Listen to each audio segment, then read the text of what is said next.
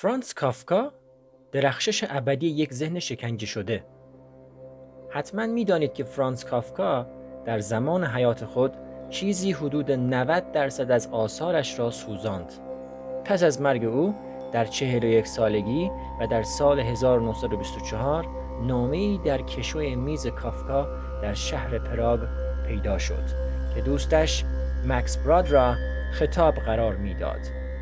مکس عزیز درخواست آخر من. هر چیزی که از خود به جای می‌گذارم در قالب خاطرات دستنوشته ها نامه ها طراحی ها و چیزهایی از این قبیل خوانده نشده سوزانده شوند. اما کمتر از دو ماه بعد براد با بیتوجهی به درخواست دوستش قرارداد چاپ رمان‌های منتشر نشده کافکا را امضا کرد و ابتدا رمان محاکمه سپس رمان قصر.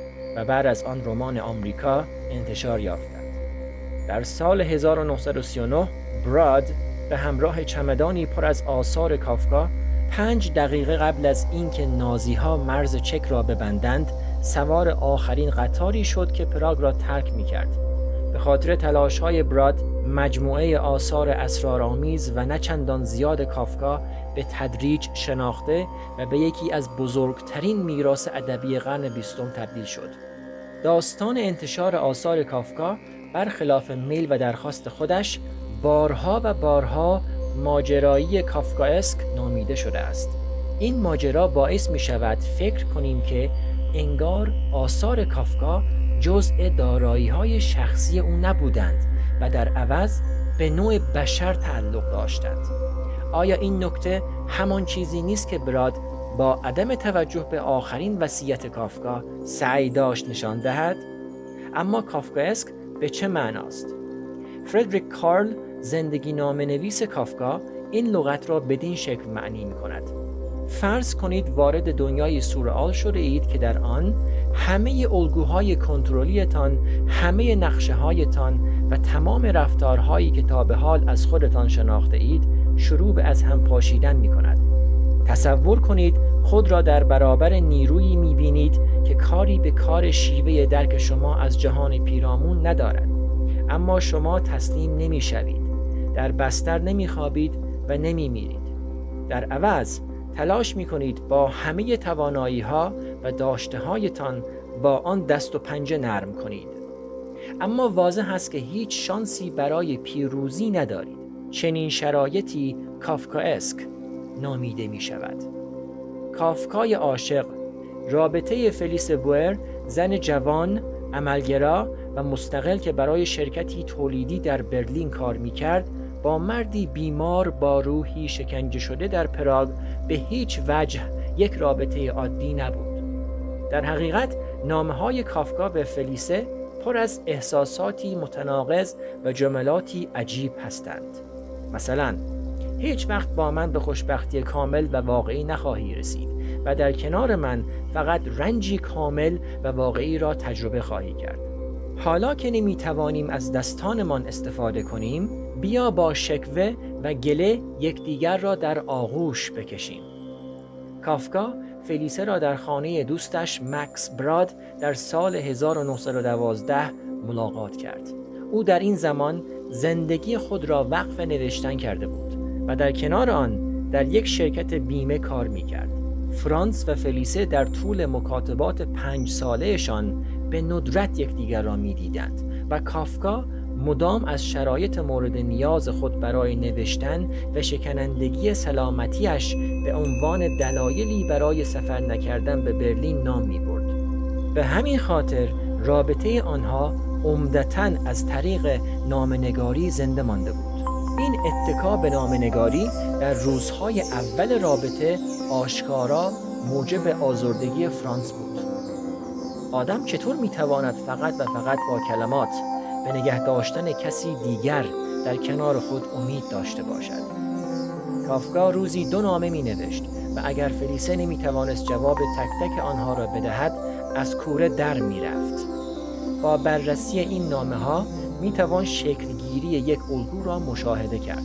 بدین صورت که او در یک نامه فلیسه را به خاطر بیتوجهی به خود سرزنش می کند و در نامه دیگر از معشوقه اش می‌خواهد که او را به خاطر حرفهایی که زده ببخشد.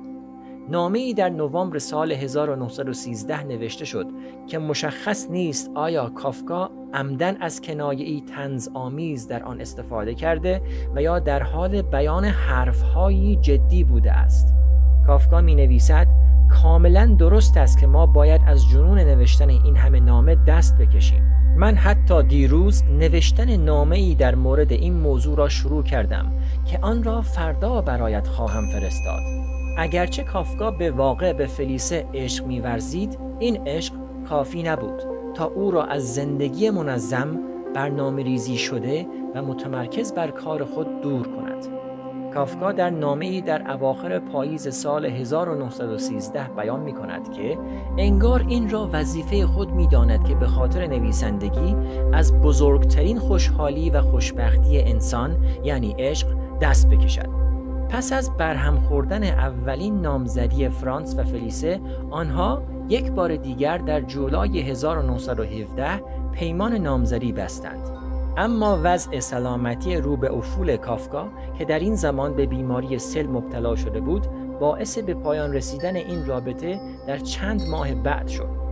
فلیسه پس از مدتی ازدواج کرد و بچه دار شد. کافکا در اوایل دهه 1920 و قبل از مرگ بر اثر سل چندین رابطه عاشقانه دیگر را نیز تجربه کرد.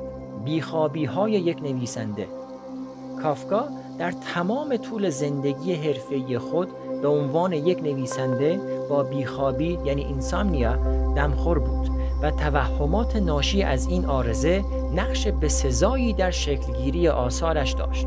کافکا در این مورد می نویسد معتقدم تنها دلیل این بیخوابی نوشتن است. شاید روش های دیگری برای نویسندگی وجود داشته باشد اما من فقط این روش را می شناسم شبها وقتی ترس نمی‌گذارد بخوابم من فقط این روش را می شناسم به نظر می رسد نویسندگی برای کافکا حالتی از خلصه شبانه است که در را به روی تاریکی بی پایان درونیش درست مثل پرتگاهی که انتهایش معلوم نیست باز می کند.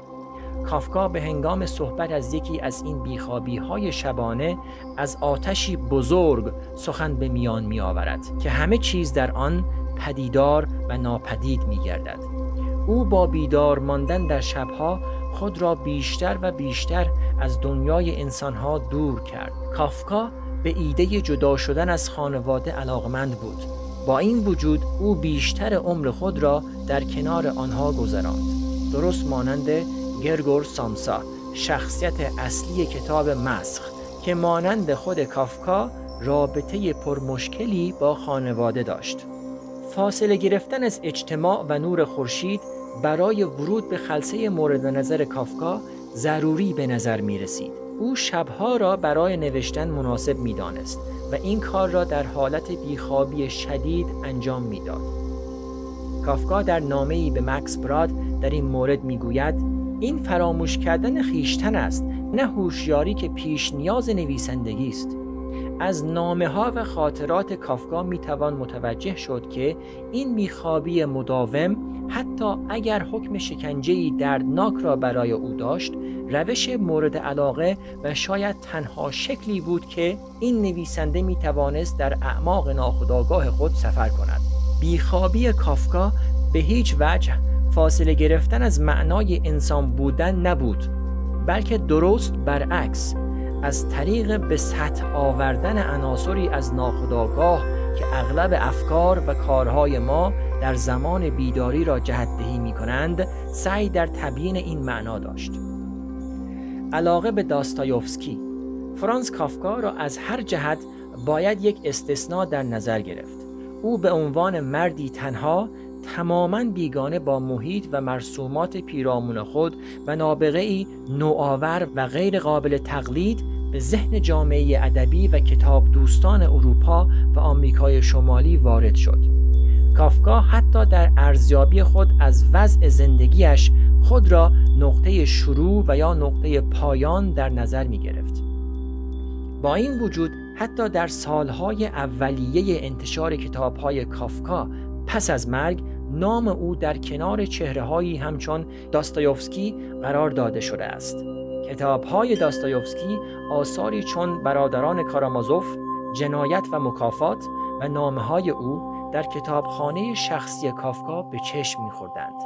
با اتکا به نامه ها و خاطرات کافکا می توان با اطمینان گفت او علاوه بر کتاب هایی که در کتابخانه اش داشت به زندگی نامه ها و مقالات مربوط به داستایوفسکی نیز علاقمند بود. کافکا در نامه ای در سال 1913 بیان می کند این چهار نفر گریل پارتسر، داستایوفسکی، کلایست و فلوبر را خویشاوندان واقعی خود می دانم.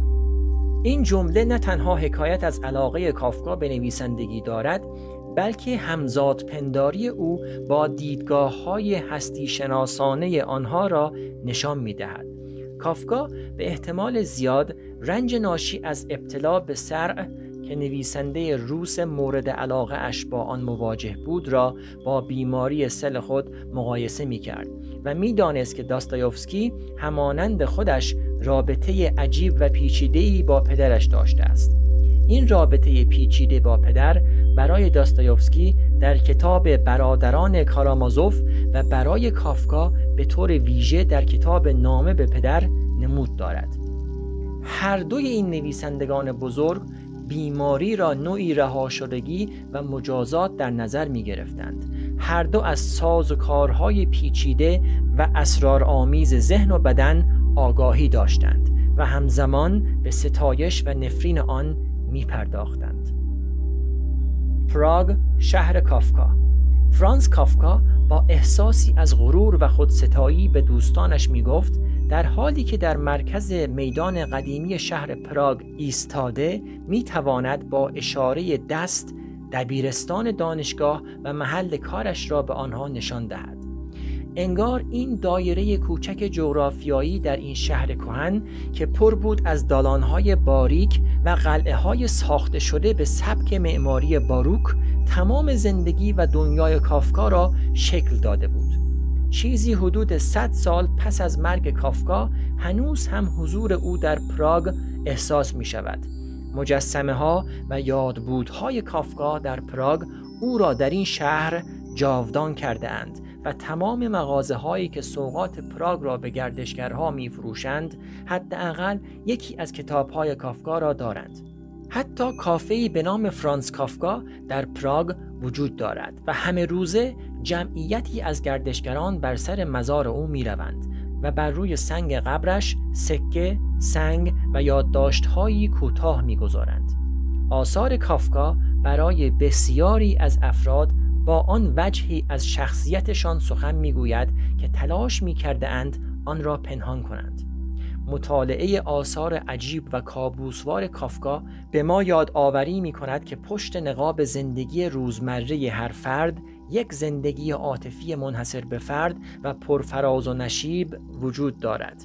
خواندن داستانهای کافکا ممکن است ترسناک و دلهوره آور باشد اما داستانهای او در نهایت می توانند باعث شوند در لحظاتی که عمیقا به درون خود فرو رفته ایم و در عمق ذهنمان مشغول کندوکاو هستیم کمتر احساس تنهایی کنیم به همین خاطر امروزه وقتی گردشگران بر سر مزار کافکا می روند قصدشان دیدن قبر مردی نیست که می توانست با اشاره دست دایره ای فرزی را با دبیرستان، دانشگاه و محل کارش رسم کند بلکه آنها به دیدن مزار مردی می روند که برخی از برترین داستانهای تاریخ را از خود بر جای گذاشت و صدای تمام جهان برای بیان تجربه بیگانگی بود. مردی که با این شور و اشتیاق از تنهایی می‌گوید راستی لذت تنها بودن را چشیده ای تنها قدم زدن تنها دراز کشیدن زیر آفتاب چه لذت بزرگی است برای یک موجود عذاب کشیده برای قلب و سر منظورم را می‌فهمی؟ آیا تا به حال مسافت زیادی را تنها قدم زده ای؟ توانایی لذت بردن از آن بر مقدار زیادی از فلاکت های گذشته و نیز لذت های گذشته دلالت دارد وقتی پسر بچه بودم خیلی تنها ماندم. اما آنها بیشتر به زور شرایط بود نه به انتخاب خودم.